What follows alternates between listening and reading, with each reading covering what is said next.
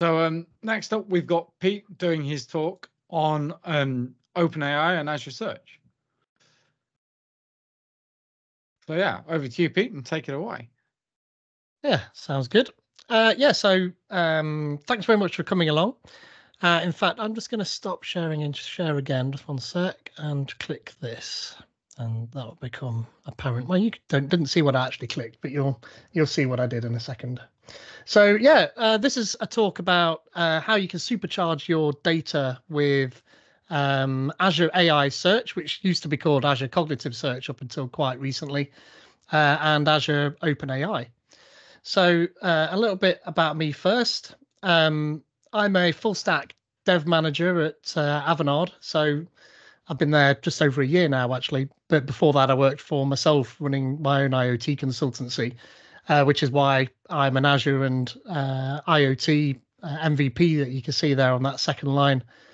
Uh, I'm also a Microsoft certified trainer and a Pluralsight author, and I run meetups and speak at events like this, a podcast podcaster and a STEM ambassador, and I like to keep myself busy. It seems lots of different things that uh, that I like to do, but uh, similar to um, what Maria Anastasia, at least the conversation we had at the end is about. I quite like the enablement part, so helping people to to make a start in either in tech uh, generally or in the uh, in the areas that I'm interested in. And generally these days, it's either going to be about IoT uh, or AI. Uh, although I've been doing desktop programming for well as long as I can remember, uh, an IoT since there was wasn't an IoT, so that old. So um, tell you what we'll do just before we get started. Um, let's see if we can get um, Azure uh, OpenAI to write this talk for us. So if we say, write me a talk about supercharge your data with Azure AI Search and Azure Open AI. Uh, what's he going to say? Oh, I'm sorry, but I can't do that. Uh, I'll tell you what, what about if I drop some data onto this that might help it? A PDF. So data added and new responses available. Let's copy my original question then and see what it can do now that we've added some data. Write me talk. Uh, sorry, I can't perhaps ask Clippy. Yeah, no, I don't really. Oh no, now we've resurrected Clippy. Things are going bad, and Clippy wants to help. No, no, not for me. Ah, oh, no, no, now we've gone back to Windows XP era, and everything's gone wrong. It's terrible. oh, I love that response. I, I know that was a little bit silly, but actually it highlights a good point in that OpenAI and uh, LLMs in general, large language models, are great, but they they're not trained on your data. They're trained on the corpus of the public internet. So things like Stack Overflow and GitHub and Facebook and, and X. Uh, and books and things like that, but not necessarily your data, and you know most definitely not your private company data. Um, but this talks about how we can bridge that gap. Um, but first, we need to do some level setting. So if we ask um, Inception like, we ask um, Azure OpenAI what generative uh, AI actually is, and we zoom in, this line kind of explains it for me in that it's tr- it's a deep learning algorithm that's trained on large data sets and it can generate content based on patterns and rules learned from that data. So um, we'll dive into into what all of this means. Now, for this talk, we'll be talking about LLMs or large language models generally. Uh, and these things are normally used for general AI work, so chatbots and natural language understanding and things like that. And of course, ChatGPT, everybody's heard of that. But since that was released publicly, everybody has now jumped on the LLM bandwagon where Google have got PaLM and Bard and Gemini now, their their new model. Meta have got Llama and X, um, formerly known as Twitter, has got Grok. And of course, we have um, OpenAI, ChatGPT. Um, within that, though, we break these models down into specific use cases where most of us are going to be using the, the GPT 3.5 or 4 models for basic natural language interactions, conversations, asking questions, and things like that. But there are other models for specific use cases like Ada for embeddings, and we'll talk about embeddings um, in detail in a bit. And then we get uh, things like DALL-E for image generation, and we get Whisper for interaction using voice and things like that. Uh, but for the purposes of this talk, we'll be concentrating mainly on that uh, GPT uh, and embeddings models. So, where does Azure's OpenAI flavor of this come from? So, we've used ChatGPT, we use it in the web, uh, but of course, Microsoft have heavily invested in uh, in OpenAI. We know this, and so we can spin OpenAI up as a service in Azure and we get the exact same models that, that we would through ChatGPT. In fact, we get a little bit access to to some more than you would do. Um, but what we also get is those layers of Azure services that that we're used to. So things like the security settings, virtual networks, private links. But we also get Microsoft's work with responsible AI. And this is about putting guardrails in place to make sure that firstly the users don't start veering off and asking questions they they shouldn't be asking you know like generate me a windows xp product code things like that but also that the model itself doesn't then start steering into areas that you wouldn't necessarily want uh, folks to be asking questions about so the, these guardrails this responsible ai um, is a really great framework to make sure that this open ai model does what we want it to do Okay, you can't trust your output. Yeah, well, that's true. Uh, well, I mean, this this is a, a, point we'll come to later, but you always must make sure you vet your responses. It's it's a prediction engine. It doesn't know what it's saying really for the most part. Um, what we get with OpenAI as an Azure service as well is that we get a fully featured multi-language SDK. Now you can interact with OpenAI using an API if you wanted to, uh, but if you're a C Sharp or a JavaScript or a Python developer, then you can just use that um, uh, SDK to be able to shortcut a lot of that work and get straight to developing. And you'll see it reduces the code down quite a lot. So, what I like to do is do lots of demos in the middle of my talks. So I don't leave all the demos till the end. So we'll level set all of these. So let's start with OpenAI. So I've got multiple different desktops set up and loads of windows open and stuff like that. So I'll probably get lost at some point, but I'll find my way back. So what we have here is the landing page for the OpenAI service in Azure. Now, I'm assuming that most folks have seen uh, Azure. They'll have been in, into the portal and seen this, but if you haven't, this is a standard looking portal page for a service where we get the overview section, uh, details about uh, the service itself and the subscription, where it is, and then some helpful links down here. So there's not much to see as far as usability is concerned here. We do have some keys and endpoints, and these are important because we need these to be able to interact with our OpenAI service. Uh, missed the last 50 minutes? Yeah, it'll be on YouTube, so that's great. Uh, don't worry, you'll be able to catch up. Uh, so I'm just keeping an eye on the chat as well to see what, what folks are saying. Uh, so these these keys, uh, you'll only need one of them, uh, but you'll need the endpoint and the key to be able to interact with the uh, the OpenAI service using the SDK. Uh, and then the only other pay, um, panel in here you need to worry about is model deployments, but you'll see kind of looks a bit like a dead end. There's nothing to see in here, but that's because everything is over in the Azure OpenAI Studio. So the model deployments look like this. So as I mentioned earlier, the service itself has groupings of models underneath that that have got specific use cases. Um, we've got a GPT-4 model here. Uh, so uh, this is the very, almost the very latest. Actually, we've got GPT-4 Turbo, but uh, GPT-4 is good enough for what we need to do here. Uh, and then there's a, a, text Da Vinci model here, which we won't be using. Then there's this text embedding Ada 2 model here, uh, which we will be using. Uh, and then some GPT 3.5 uh, and some GPT 4 models with larger token limits. But again, we don't need to worry too much about them.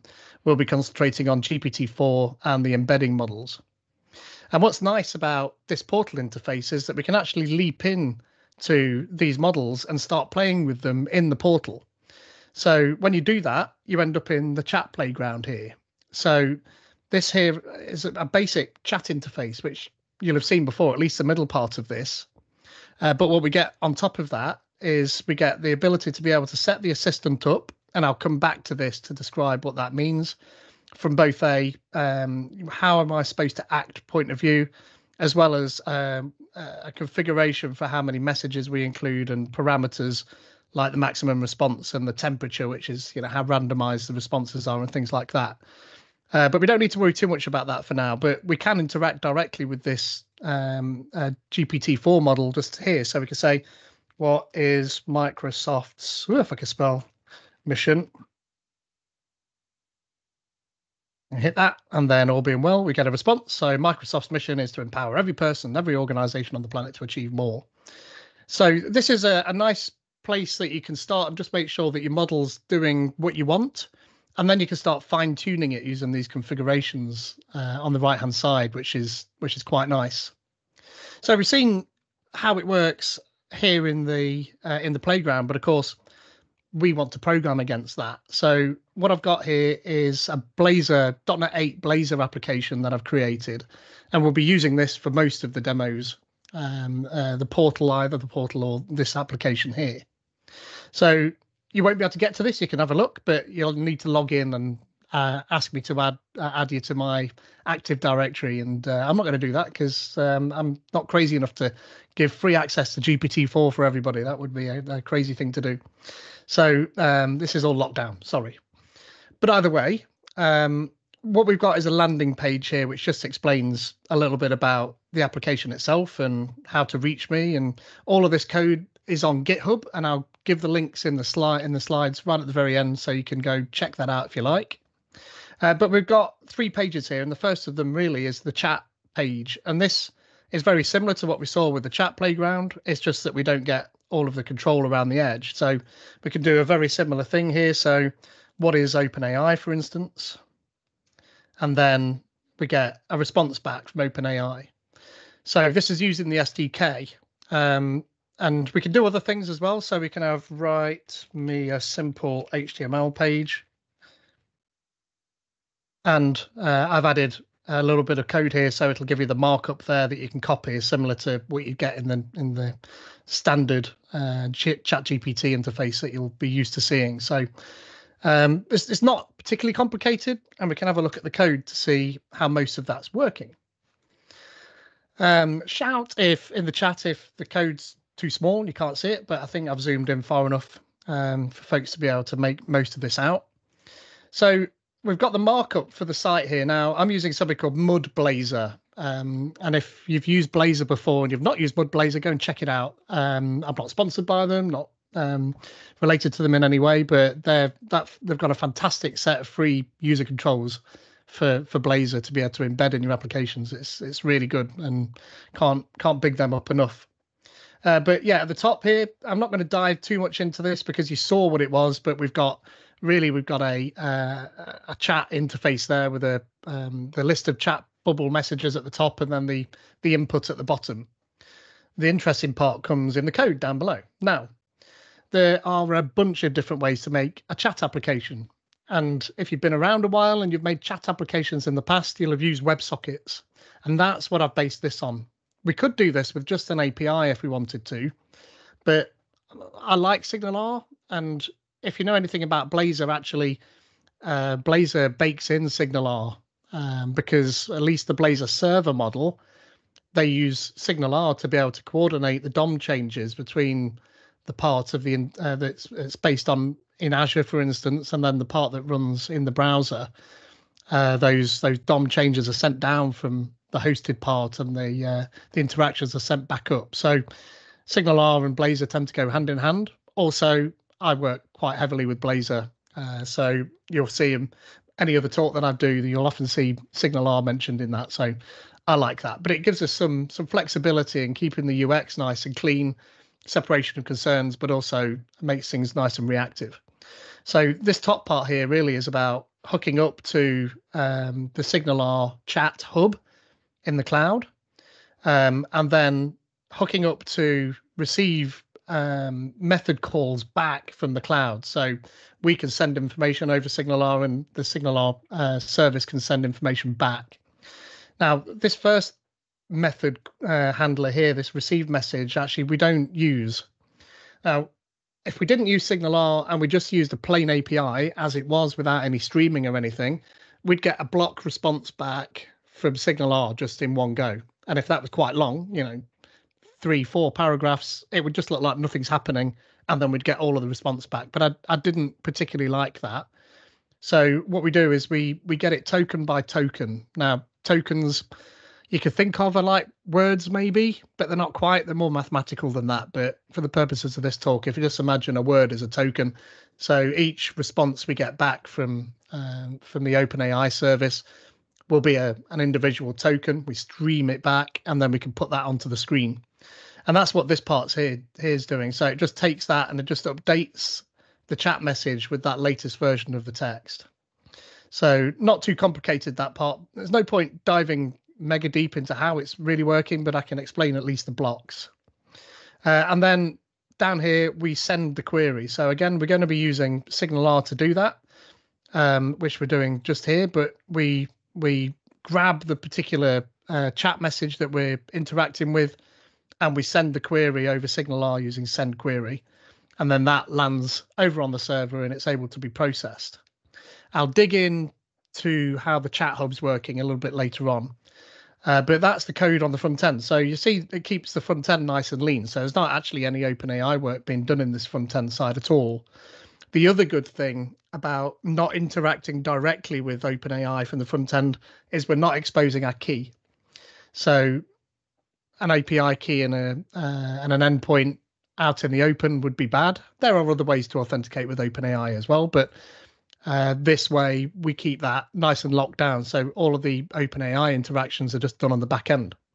And that is done over on the server side. So I mentioned those different ways of, of hosting Blazor. We've got WebAssembly, and then we've got uh, Blazor Server, which is all on the, the server side. WebAssembly is all in the browser. And then we've got hosted Blazor Server, uh, which kind of combines those two things together. So we get a backend service uh, running as well as the front end WebAssembly side. So this OpenAI help is now running up on the server. Now, um, there's a, a few bits of code in here, but I'm not going to dive too deep into a lot of it at this point. The only part we need to worry about for now is this query OpenAI with prompts. Now, there's building blocks in here. The code's actually quite simple. The the first block is just grabbing the keys and deployment names from uh, the secret store. Uh, again, we don't want them in the code. We don't want to have to check them into our GitHub repo and then for somebody to go steal our OpenAI uh, key. That would be a bad idea. Uh, then we, we just generate a, a GUID for the uh, the response message that we're going to be sending back so we can keep that one up to date. Then we create the OpenAI client here and we pass in those credentials we created above. Um, so that we can open that API link to OpenAI essentially. Then we need to configure how we want the chat to um, uh, to work, the interaction that it wants to to be based upon. Now, if you remember in the portal, we saw in the playground that we get this assistant setup and configuration. Of these configure those same settings. So we've got the temperature and the maximum number of uh, tokens and then things like nucleus sampling factor and frequency penalties and presence penalties, which we won't go into, but this really sort of forces it to behave in a certain way, not repeat itself and cut off words and things like that. Uh, but we also pass in a couple of messages. And the first one is this system message. Uh, and that's the same as what you can see here, system message. Uh, and the second one is our prompt, our query that we're sending to it. And then once we do that, we could, if we wanted to, um, skip some previous messages so we can make a conversational style interaction here and include those previous messages for it to be able to ref- refer to or you could make it just a single shot as it's called where you have a, a question and response type um, interaction and it doesn't conversationalize it. There are reasons for both of those and we'll talk about them in a, in a little bit. Uh, so that's what this section is doing is dealing with those previous messages.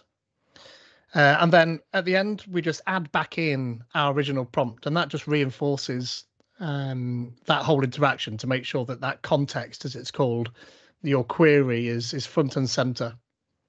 Uh, and then at that point, we call the OpenAI endpoint and ask it to go ahead and, and give us the response.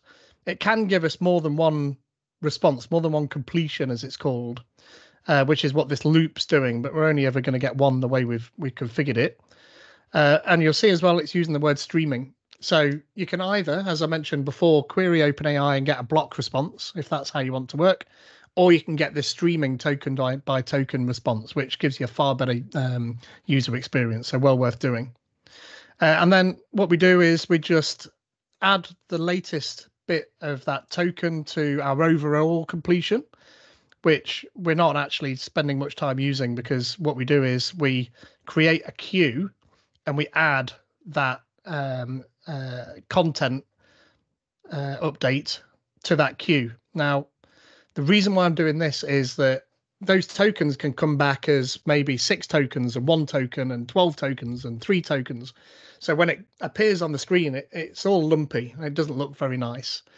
So I've added a queue to this, and what it does, it regularly pulls off a word at a time, and it gives you that kind of teletype typewriter based um, response that you saw on the screen rather than big blocks appearing here and there. It makes it look a bit silly, really. Uh, so you'll see down at the bottom, I'll skip all of this code, that we process the queue down here.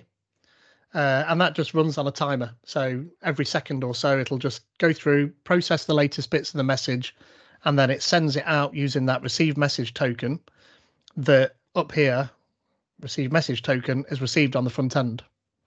So although there was there was a fair amount of code there. Actually, it's it's mostly blocked up. Uh, there's more code down below, but we'll come back to that in a little minute. But uh, we've got, you know, grab the keys, uh, and then um, we just tell it that we've got this holding message here, so that goes to the front end to give you that dot dot dot. Create the client for OpenAI. Tell it how we want it to perform, including the messages that we want it to work on. Include any previous messages, and then make sure that we we re-add our prompt at the end and then ask it for the response and send it back to the front end. So again, there's a fair few lines of code, but those blocks are actually pretty simple and you'd expect to do those things. So um, hopefully that makes a fair amount of sense. So if we go back to the slides now, I told you I've got like four virtual desktops and loads of windows open. So switching to the next slide we live in a, a, world of unstructured data, as we were talking about earlier, and this includes text and images and video and audio. And AI models are trained on this corpus of data across the internet. And what that does, it, it makes them powerful prediction engines. If if you don't quite know uh, how these models work, they're really just prediction engines. So they they grab a token and then they grab another token and another token and another token until they make a response. And they use decision trees to do that. Uh, highly mathematical stuff, way out of my reach. Uh, but really, they don't know what they're saying. Not really. They just know they follow a path to get to a response, and that's based on all of that training data across the internet. But again, it doesn't have our own data as part of that model. So we need a way to be able to fix that problem and one way to do it is to use something called retrieval augmented generation, or RAG, as it's often referred to. And this is a way that we can bring our own data to the power of these LLMs.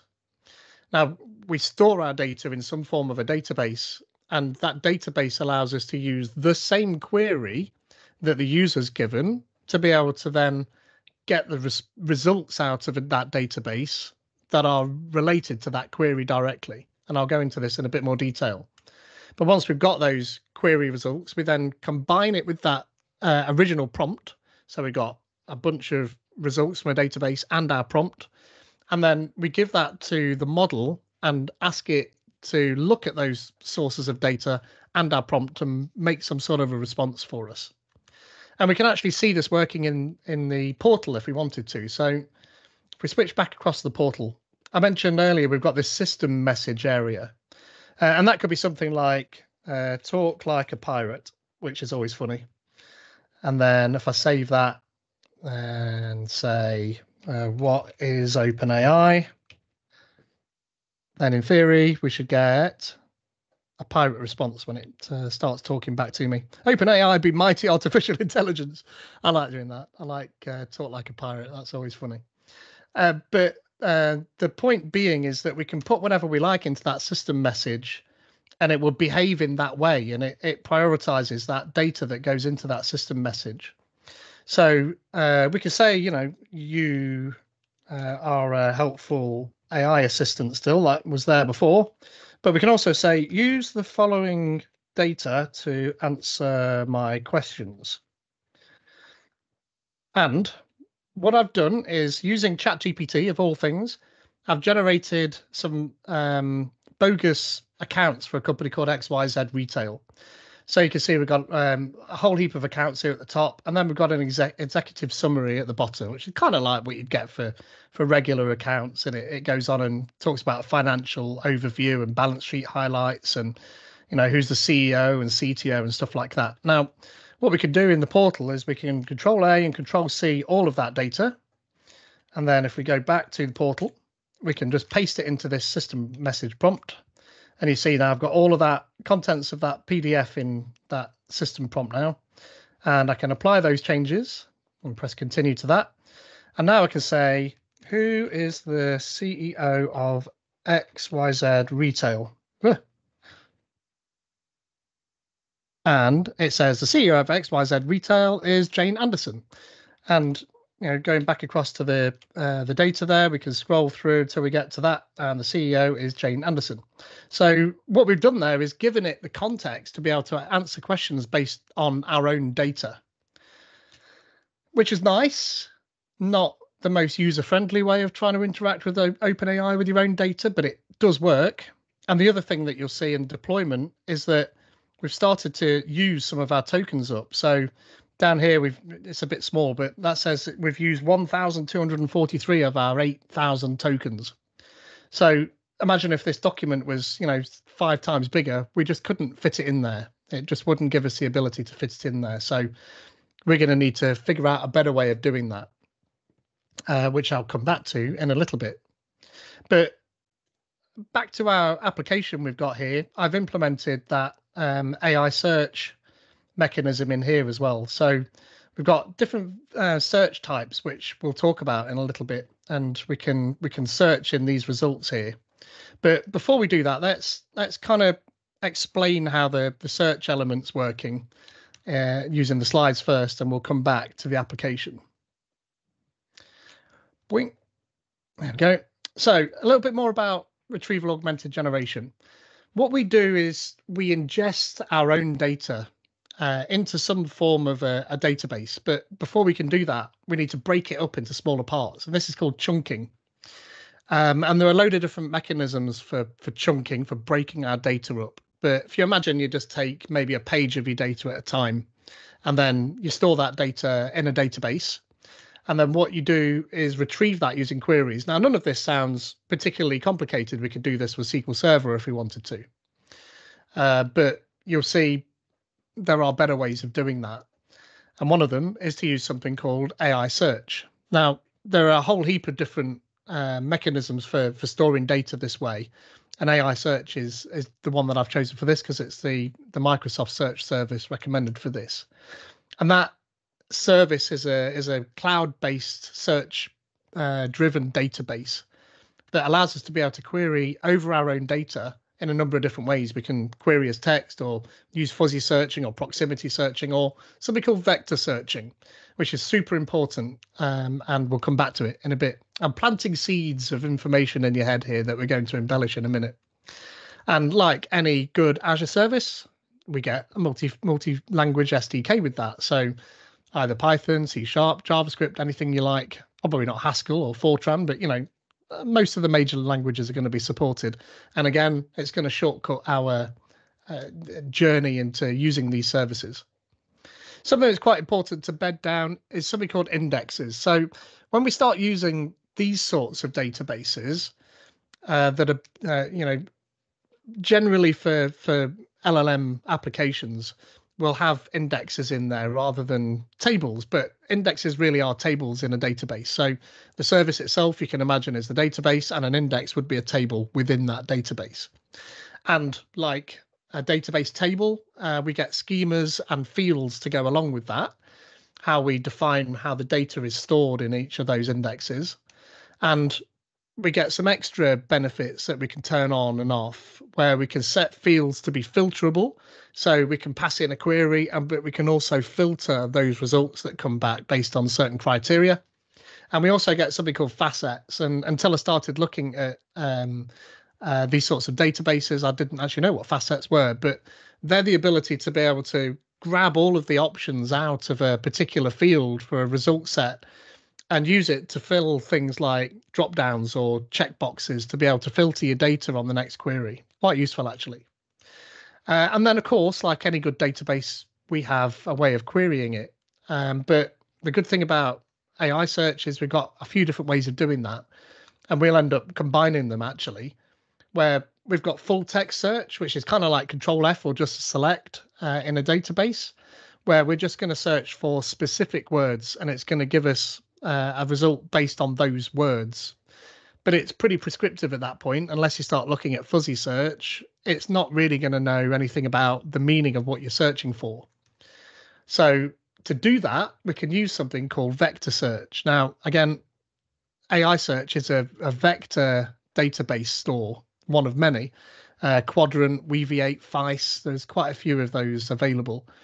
Um, and what vectors are are a mathematical way to be able to represent the meaning of uh, an item of uh, text or image or sound or anything like that. And I'll explain what vectors are in the slides coming up, and then all of this will start making sense. So we've got full text search and vector search, two different ways of searching. Uh, but to improve our searching mechanisms, we can actually do something called a hybrid search, which does this vector search, this mathematical search first, and it combines it then with the full text search to really limit down uh, that result set and make sure that it, it's pretty much exactly what you're looking for. And then on top of that, we can do something called semantic re-ranking. Uh, this used to be called semantic search, but they renamed it quite rightly to semantic re-ranker because semantic search doesn't do a search.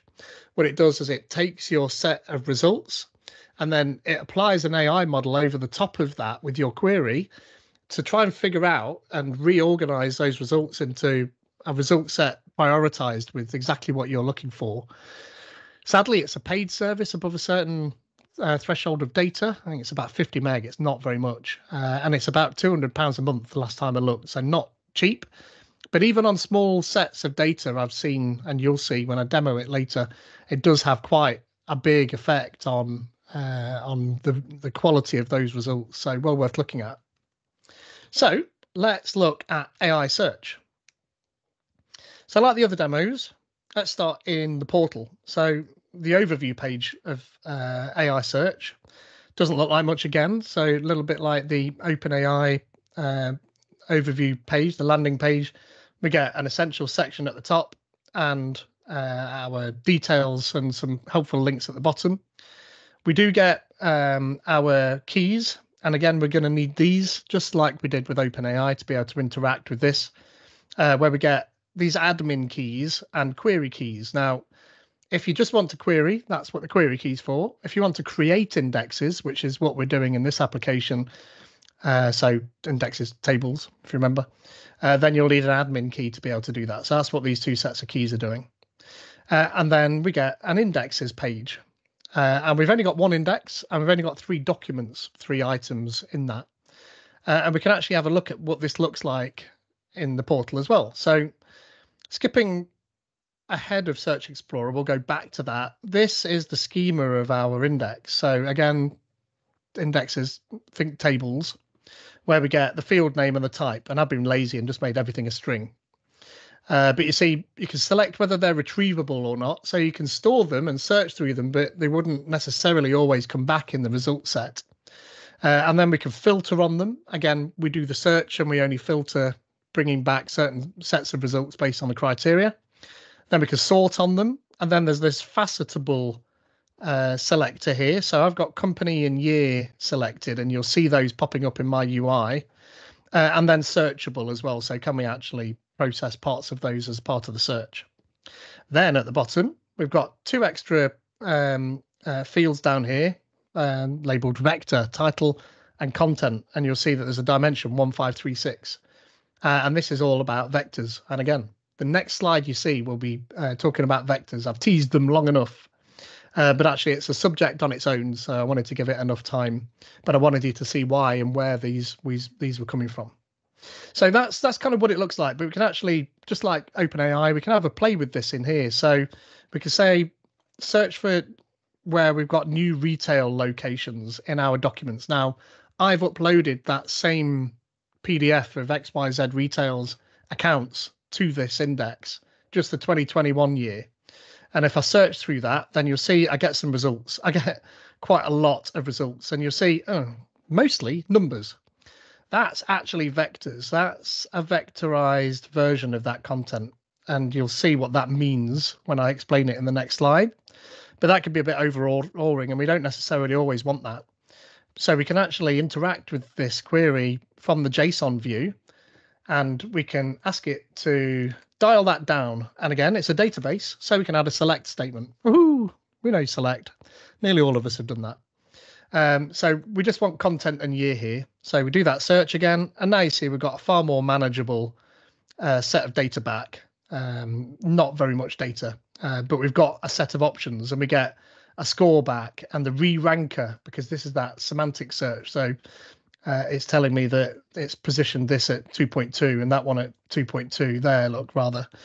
Uh, but we have got our text, uh, new store expansion plans, planning to open two new store locations and then some more as we expand our reach through the new store locations. So you can see that that search that uh, we applied there, the new retail locations, has brought back some results, which is nice. So let's see what that looks like in the application You remember I mentioned we've got those different search types. We've got vector search, which is that basic mathematical search, hybrid search, and semantic hybrid search in there, and we can do our search in there. So uh, XYZ's uh, net income in 2021, and we get some results, which looks nice.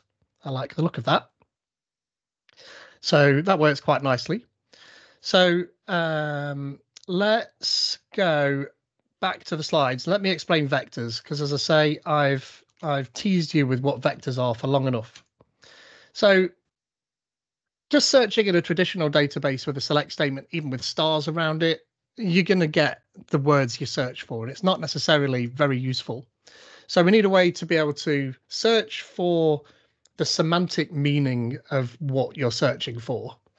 Um, so one way we do that is to use something called vectors. And what it does is it converts this unstructured data, um, text or images or, or sound or video or anything like that, into a set of numbers using the model that um, we're going to be doing. It uses an AI model, the Ada model, and it creates 1536 of these um, vectors, and they're points in space. And you'll understand what that means in a minute. And then what we do is we store them in something called a vector database. And again, we could use something called Qdrant or Weaviate or FAISS, uh, but we're using um, Azure AI Search here to store those vectors.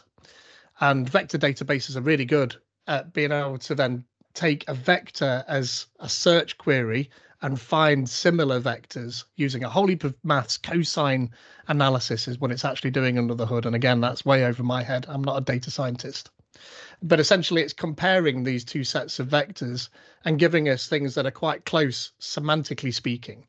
So what do I mean by that? So imagine we've got the vector representation of the word car, and that is the top section of that actual vector with a whole heap of numbers, minuses and pluses.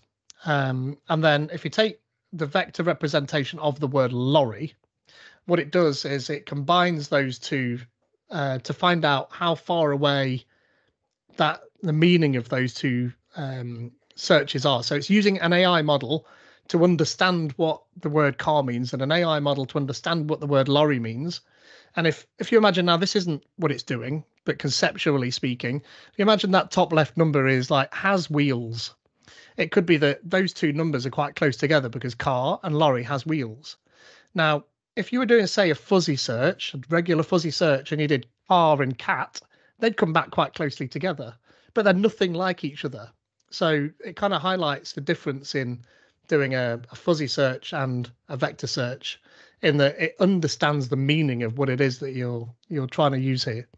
Now, another way to explain that is, and if you've ever watched any uh, discussions about vector search and vector comparisons, then you'll have heard of the king queen model for explaining this. Now, we start with a king, so the vector representation of the word king. uh, all of those 1536 numbers. And if we take the vector representation of man away from that vector representation of king, and then add in the vector representation of a woman, guess what we get? We get a queen.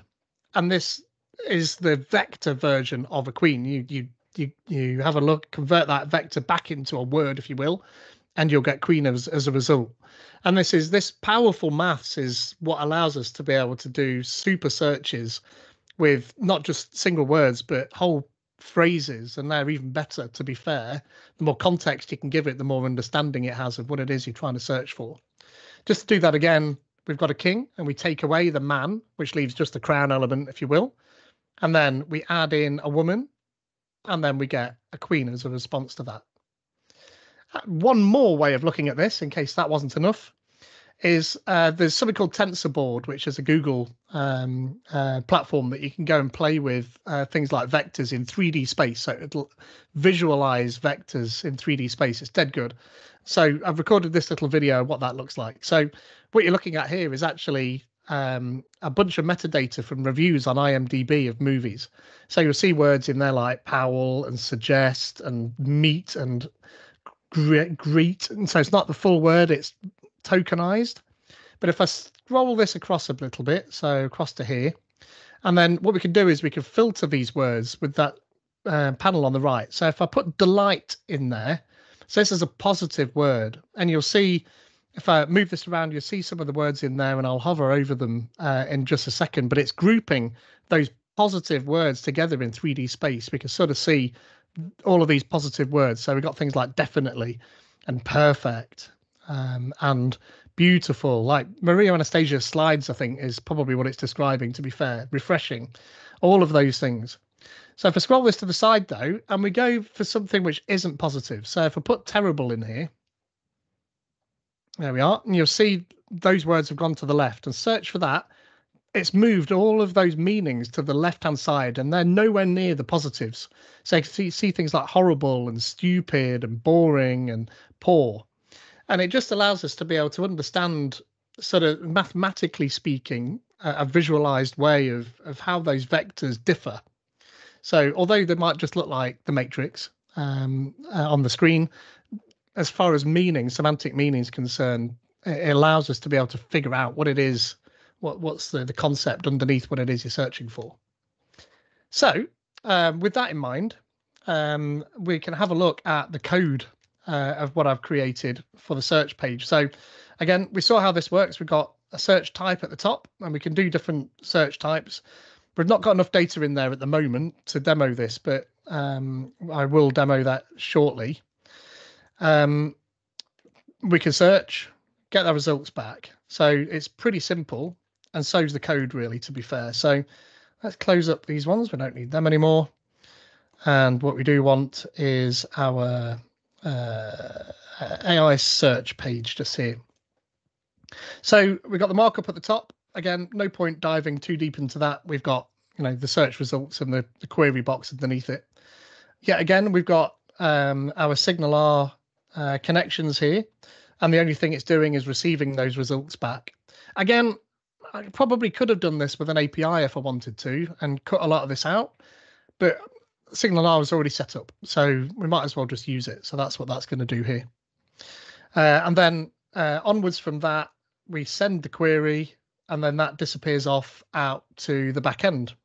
So not nothing much more to see in the front end. Again, keeps it nice and lean. Not much code in there, and most of the code then is over here in the cognitive search helper page. Now, there's quite a lot of code, and I'll come back to this in a little bit uh, to some of it. So I'm going to scroll past a lot of this at the top. I'll come back to that. Don't worry. The parts we're interested here is the single vector search. So in order to um, compare our query to the vectors in the database, we need to convert our query into a vector. So that's what this is doing here. So uh, embeddings are the, the vector essentially. That's those lists of numbers as an embedding. Uh, so same sort of thing.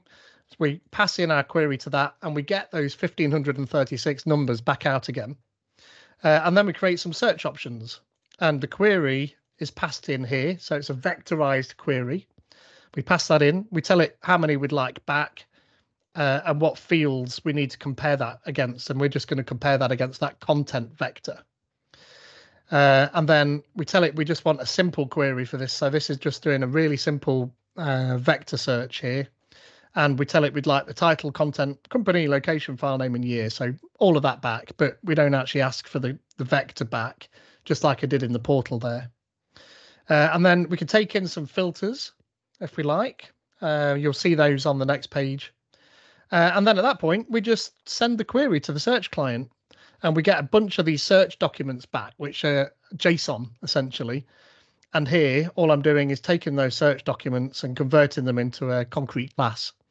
Uh, there's probably a few different ways I could have done this, but I wanted it to look a, a, relatively simple piece of code. So I'm literally just storing those in, in our class, debugging it out.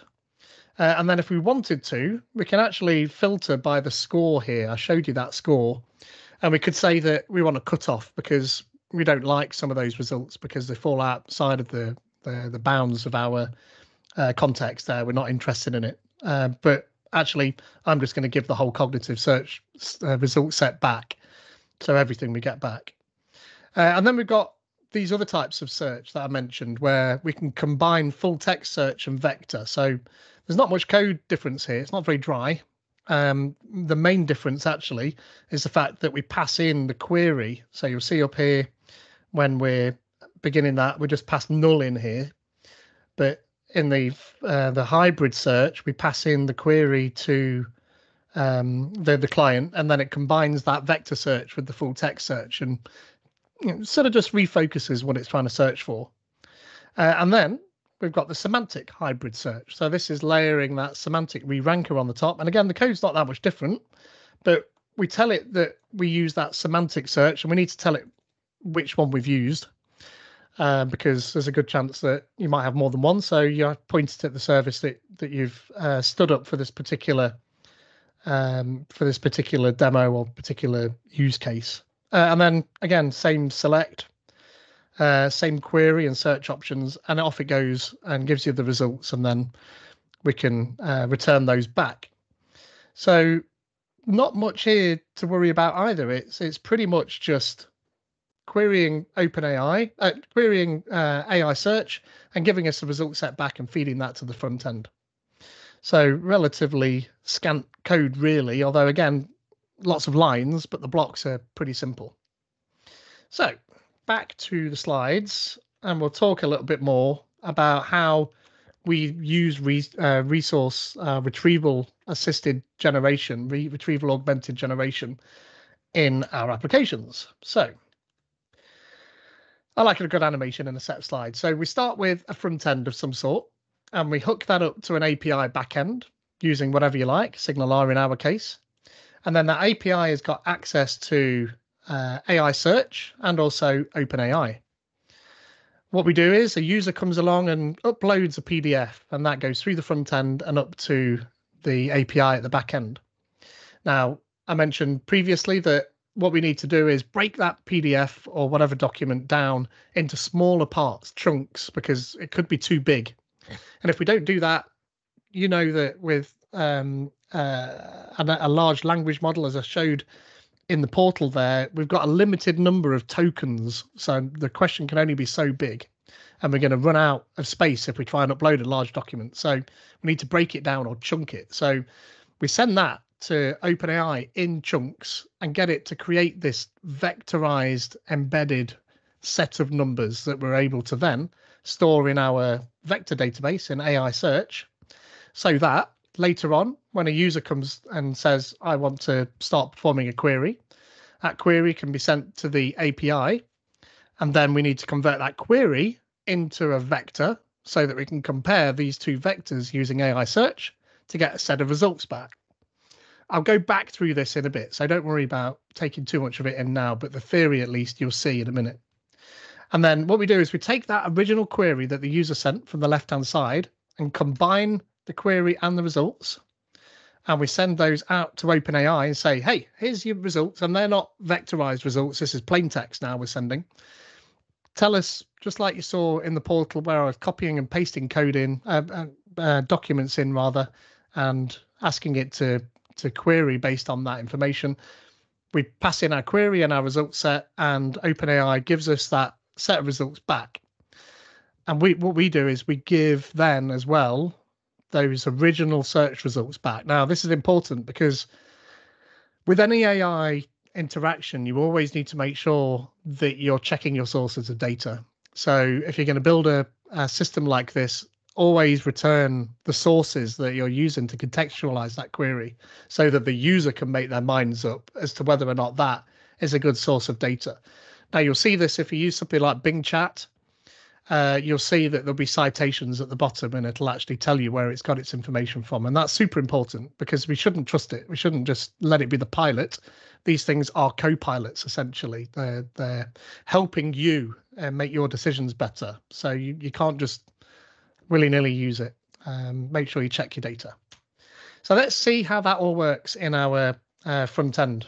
And this is the part that you kind of really came to see was um, how it's how uh, we can actually take our own data. So we've got this OpenAI and AI search page. Now, what this is doing really is combining those two previous chat and AI search pages together into our full application now. Now, at the top, we can actually upload some more documents if we want to. And then we've got filters. Now I mentioned that we've got um, filters and facets. So these are the filters and the facets are the way that we fill this filter in so that we can filter by a specific company if I had more than one company's uh, data. Uh, and also we've got the year. Now I've only uploaded one year's worth of data, so that's why I've only got one year in there. Uh, and then we've got the options. Again, if you wanted to have a conversational style interaction with your system, then we include the previous messages into that context. But if you wanted to make sure that you gave as much context regarding your documents as possible and you weren't bothered about that previous history, then you could turn that off, for instance, and only just do one shot question and answer based on those uh, document results. It really depends on on how you want to interact with your model. But we'll leave that on. But in here, for instance, now we could say what was XYZ Retail's net income in 2021? And if I zoom out a little bit, just give us a bit more space, you'll see on the left, it's very similar to what we saw in the portal here, but we've got the response XYZ Retail's income in 2021 was 90,000. And that's telling me that it was DOC 1 um, 2021 annual report, which is this report here. Uh, and in all of this horrible looking data, because it's just converted it to plain text and I've not done any processing with it, uh, we'll find that it will say that that net income is 90,000. But we've actually given it all three of these sources. And it's up to you just to make sure that you're happy with that because, you know, if you're a solicitor, you can't just trust this and copy and paste it. Although that's exactly what some people have done and lost their jobs. Um, terrible idea. So um, again, that that's relatively simple. There's not much to that. You know, it's it's a combination of those two previous pages. Now, what you'll see, which is interesting in here, is that these are all 2021 results. But if I upload the 2022 document, 2022 annual report, and you'll see the SignalR at work here. So this is keeping this all up to date with what it's actually doing, which is why I like it over an API. Um, although that was quite quick. If you've got lots of documents, that kind of keeps that all up to date. Now, if I refresh this page, bum, bum, bum, there we go. And if we go to our filters now, you'll see I've got two years. Still one company, XYZ, but I've got two years worth of data. Now, let's ask that question again in 2021 here. Now, we've got 2021, 2021, but now we've got 2022 results appearing in here as well as 2021. Now, the only difference between 2021 and 2022 is a single digit and semantically they're quite close together so when you're doing that vector search this is where it kind of falls down on keywords because it's not really spotted that uh, 2021 and 2022 are different but this is where things like semantic search actually do make a difference so that that has helped believe it or not if i go to just the ai search page and we do what was uh, xyz's retail in, in 2022 for instance we get 2022, and then 2021, 2021, 2022, 2022, and 2022. So these top three results, two of them are the wrong year, which isn't great. And if we do a hybrid search, so this is doing the vector search uh, with this query and then taking that same query and doing the full text and adding it to it, if we add that, then you'll see, although we still get those results, kind of one of those 2021 results has disappeared, although two of them are still in the top 10 here. Still not great. But if we do a semantic hybrid search, then now we've got 2022, 2022, 2022, 2022, 2022, and 2021 has appeared right at the bottom of that list now. So you can see the power of that that semantic re-ranker on top of that is that it's actually understood that there's a semantic difference between 2022 and 2021. So more powerful than just the vector search and the the control F um, hybrid along with it. Adding that semantic re-ranker has had a meaningful result just to our small data set. So it's well worth using um, uh, to make sure that you get the right set of data and you know prioritize the top three or whatever rather than the top 10 like i've done here or top eight uh, top six in that case. Um, and then you'll only get the data that you want in your context. So super important. So let's finish off. We'll have a look at the code for that. I'll zoom through that quite quickly. So um, if we go to the um, OpenAI AI search page, um, there's not much to see in here. So there's the the markup at the top, but we saw what that looked like. So we've got um, upload area, filter area, and include the previous messages, and then the, the message response area, the sources, and the uh, query input. So that's what all that is. And then we get all of the SignalR and uh, stuff set up at the top here. Uh, our hub connection, and then receiving a message token, just like we did in the chat page. Cognitive search results, just like we saw in the AI search results page. But we also get the facets back. If you remember those, um, that's the, the list of options we've got in those filters. Um, and then that's really it. Um, we've got some stuff for the status for the upload um, in there as well. Uh, and then we can get the filters here if we wanted to. And then we send that query and then that goes off to the uh, the chat hub, and then the chat hub deals with with doing that, and then that's that's it. We upload our files and and piece those together. So before we we go much further, if we just show you the chat hub uh, over in the server here, so this is where all of the SignalR uh, interaction goes through. But we've got this send cog search query here, uh, which is the one which uh, deals with just doing the um, uh, the interaction on that page we've just seen. So we get those search results, and then using the OpenAI service, we query with those prompts and sources. So we can have a quick look at um, what that's doing on that page with the prompts and sources uh, in our OpenAI helper. So query with prompts and sources just here. I could have done F12, but I want you to see where that was. Uh, so we've got some extra prompting that we're doing here just to make sure that the the system knows how it's interacting correctly. So I'm telling it that it's it's by me. It's an expert in supplied documents, and it's it allows you to gain insights uh, from the documents. And I'm telling it what we're going to do. We're going to give it a question, an extracted part of some documents, and I'm expecting it to provide a clear and structured answer, and return any tables at HTML, and where relevant, use bullet points. Uh, and then what we do is then we add on the sources here. So when relevant, use facts and figures from the following sources, just like I did in the portal you saw. Um, but other things like if no documents are provided, then don't add a reference. And if no relevant information is there, then tell me that there's no relevant information. It needs to know these things. You need to tell the system prompt. This is all prompt engineering, if you've heard of that and this is the part that you'll have to fine tune based on your data and the way you want it to interact with it. So important that you know where that's done. Uh, and then we grab those uh, cognitive search results and we add them onto that sources prompt. Uh, and then we send the query using the same um, methodology we had before. So create the options for how the query wants to be done, include any previous messages, uh, add on our original query at the end just to make sure the context is captured, and get the results and send them back. So relatively straightforward from that point of view. The other thing I wanted to show you though is in the cognitive search helper. When I uploaded that document, it did a few different things. And it it called into this create or update an index. So I mentioned right at the very start when I showed you the cognitive, the AI search portal page, the keys, where we had the admin key and the query key. We're using the admin key because we're able to create the index here, the table, if you will. So we create an index and we actually do that using this compose index just here. Um, what we do is we need to tell it the profiles it's going to use. So the vector search profile. So in other words, how are you going to vectorize or unvectorize this data? So which model are you going to use? And also then uh, which algorithm do you want to use to create that? Uses something called HNSW, which is high, um, hierarchical navigable small worlds is what that stands for.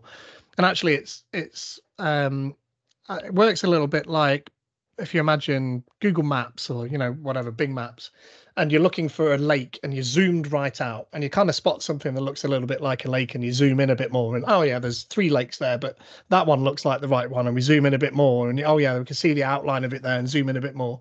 That's what this vectorized searching is doing. It's kind of navigating its way down these different layers to be able to compare these vectors together. It's quite clever. Lots of data science but that's the the, the top level of how that works uh, and then we tell it how how to use the semantic search. Again, we need to tell it which field it's going to use to compare those vectors. For ours, we've used the content um, here. Uh, and then we create the index, the schema of the index. So whether it's a key, whether it's filterable and sortable and facetable. Uh, and then we create those vector columns in there, those vector fields, um, and tell it to use a search, uh, the vector search profile name uh, to be able to store that, and the model dimensions, that 1536 again. Um, and then when we're uploading documents, we can process each of those extractions and store them in the database um, with that schema. So file name, location, title, and search documents, and we add them to that, and then we send that results back. So that's probably all the code that you need to see for that. Again, all the code is on GitHub. You can you can grab that to your heart's content uh, and play with that. So you saw the application. So just to recap on uh, retrieval augmented generation, because it's worthwhile um, just going over that because there's a fair amount of concepts. Again, what we've got is a front end application, our Blazor application that you saw there, and we connect that to an API, a back end API, and that has access to Azure AI Search and OpenAI. And in the first instance, somebody comes along with a PDF and they upload that to the backend API. We split that um, document up into bits and then create embeddings from them, uh, as you saw there. And those embeddings are then stored in Azure AI Search for querying later. So a user comes along and performs a query through the front end. That query is processed then by the API by sending it to AI search and creating that same vector embedding for, for comparison by the AI search service, which gives us a set of results back. Again, these are plain text results that we can read. You saw them in the in the uh, application there. We then combine that query and result set together with prompts, as you saw, telling it that it's an expert in you know, processing documents, and here's some documents, and use those as your source of data. Combine that together through the API and send that to OpenAI, and it gives you a result back that you can give to the user. So all them tokens that are appearing. And to allow the user con- to contextualize that response, we give them the set of results back for it for them to check as well. And that's really it. So again, if you want the source code, then the web app source code is all there. Um, you don't need to worry too much about taking this down because there's a QR code on the next page if you want it, and a bit.ly to get to these slides where you'll find all of this information. Uh, if you want to learn a little bit more about Azure's OpenAI, then you can do that on that bit.ly. And likewise, the AI search uh, service is there. And also, there's uh, re- uh, an article there on retrieval augmented generation from Microsoft, well worth checking out. Also, some of the explanations that uh, you saw about vectors and comparisons um, I learned from watching a couple of Computerphile um, videos. I really must add those to these list of uh, links actually. So go and search a Computerphile vectors, and there's a couple of awesome search um, uh, vector search and vector comparison videos there that explain a lot of the concepts that I've been talking about in detail. Um, and then um, and contact me. Twitter X, as it is now, is the best place to get me. So that's at Pete underscore codes. Um, so you can you can grab me on there whenever you like. Um, I've got a blog as well, so uh, mostly IoT stuff, uh, but you'll find a plethora of different blog posts on my website, petecodes.co.uk, or you can email me at pete at pjgcreations.co.uk. And there's a QR code or the bit.ly to the slides, PJG Open AI Supercharged slides, uh, and that'll contain all of the, these links in it anyway. So thank you very much. Thank you, Peter. That was excellent. There's a lot of content in there, and I've been told it could be three talks uh, if I was to split it all up into three separate pieces. Um, but I try and break it down at least uh, so that it's manageable and and folks can consume that um, without getting overwhelmed. But I mean, if you've got any questions, then then fire away. Um, by all means, I'm not a data scientist, but I'll try and answer whatever you've got there. Um, oh, actually, tell you what, I didn't show you. Let me just share my screen again. Uh, da, da, da. Hey, look. So if I go back to my demo, if it lets me, if I go back to chat, if I go, watch this.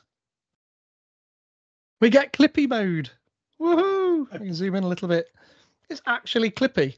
And it, now it's in Clippy mode. So uh, what was XYZ's retail in 2022? Hi there, I'll be happy to help you. Unfortunately, I don't have access to that because this is the chat page. So that kind of proves that. But if I say, what is OpenAI?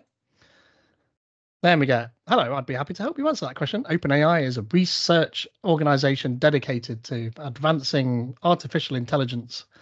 And I like that. I, I actually like um, the the idea, the concept of uh, having a, a co-pilot as an, an undocked element. You know, all of the co-pilots that you get are all a sidebar, aren't they? They all just appear, mm. but they take up a huge amount of real estate from your page. I quite like the idea of having a little floating element that just pops up when you need it and disappears again when you don't. Maybe clicking on it and you'd get uh, an input box and then you'd get the response back, but then it just disappears to a little icon at the bottom right hand corner. I quite like that. Plus, I missed Clippy, and when I found that JavaScript uh, library there that I could include, I absolutely wanted to make sure that that was part of of my demo. You'll find that it's actually in a, a different branch. There's a Clippy branch of the code. So if you want to see how that's working, but actually, all of Clippy wasn't the only one of these Office AI helpers that are really like the grandfather of OpenAI, if you think about it. Uh, there was all sorts of ones. There was a wizard uh, that my mate at work back in those days used to call Pete the Wizard. Um, and there's a uh, like a Formula One car and all sorts. There's loads in there that you can play with. I didn't realize there was as many as there were, but yeah, quite cool. Uh, but even so, I think non-intrusive co-pilots are the are the way forward. we'll see how they develop it. Yeah, yeah, exactly. I see Alan says they're working on large monitor support for, for Copilot. Yeah, that'd be good. I mean, I've got a 49 inch ultra wide here, so anything they can do in that space would be good. like that idea. Has anyone got any questions? Anything they want to ask? Uh, was anything unclear or anything you want to go over again? Or there's no questions in the chat sheet. No, blown everyone away. Good. Well, yeah, thank you very much for for listening, and uh, yeah, thank you for inviting me along. Um, yeah, thanks for coming. Yeah, anytime. Always good. That was very interesting. It was very intriguing. I don't do a lot with OpenAI at the moment, so it was good insight into what is possible. I really enjoyed yeah. it. Thank you. Yeah, and I really only scratched the surface on all of those things as well. There's so much more you can do, even with just the chunking part that I was talking about we can do things called sliding window because when you chunk things up, the smaller you chunk them, the more context you lose of the overall document. Uh, so sometimes you can just rather than chunk, chunk, chunk, you can slide that chunk across and maintain some of the previous chunks data. And you can also pass each chunk through OpenAI and ask it to summarize it and add that summary to the next chunk and keep doing that all the way through. And that keeps context as well. Um, so there's a bunch of stuff even just in that, and then there's all the prompt engineering side of it to make sure that it gives you back the data in the way that you want it. Um, and then yeah, it gets complicated. but cool and relatively doable. Most folks have used a database, and most most folks have touched OpenAI, ChatGPT somewhere. So combining those two things together to be able to go over your own data is where I think a lot of this we can't train our own models. Let's be honest. You can't make your own uh, GPT four. It's just not possible. It takes you know, thousands and thousands of hours, millions of dollars of expenditure to be able to train these models. So training your own to be as good, at least at inference and understanding in mm. natural language, is not practical. Um, but combining your own data with it is is certainly practical. So yeah, there you go. Uh, thank you. Uh, this talk will be made available on YouTube as soon as we get it edited. So next couple of days, both the talks will be editing up there, hopefully. Thank you. I thank everyone for coming. Yeah, yeah thanks very thanks much. Yeah. Thank you very much. See you later.